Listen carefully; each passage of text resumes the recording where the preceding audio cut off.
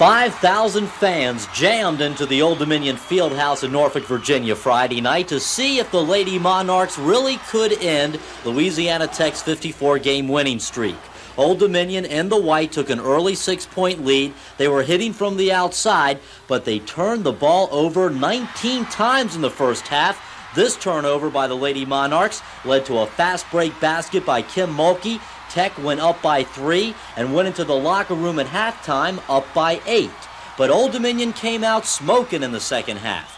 ODU's Helen Malone, number 21, scored eight points in the first 10 minutes of the second half. She plays defense too. Watch Malone. She gets the steal, takes it herself, makes the bucket. Old Dominion has a one point advantage, and they kept it up.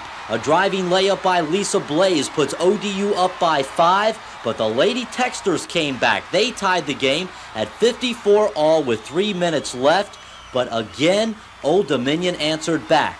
Beth Wilkerson gets the rebound off the missed foul shot. She makes the bucket, and Old Dominion is back up by five with a minute and a half to go. But Louisiana Tech just won't give up. In 28 seconds, they hit two quick baskets. ODU's lead was cut to one with 60 seconds on the clock.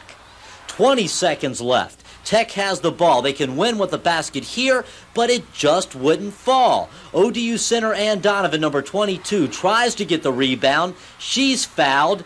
Annie goes to the line, hits them both. ODU up by three with 11 seconds left. Now Tech tried just one more time, but Donovan comes up with the block. The streak is over. Old Dominion wins 61 to 58, and Anne Donovan was in another world. I think they're beginning. I think both teams played real well.